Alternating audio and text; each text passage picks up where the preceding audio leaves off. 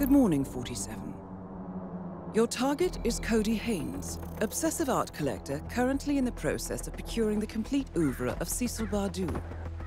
Haynes went underground six years ago to escape his wife's family, after embezzling their fast food empire to pay for his art habit. Freed from all social ties, his collecting took a turn to a dark extreme. Intel shows that he not only needs to possess the artworks, but that he cannot accept any previous owners being left alive. Our client, the gallerist who originally sold the artworks of Cecil Bardou, is worried the killings will taint his business. Furthermore, he owns one of the paintings in his private collection, putting his name on Haynes' kill list.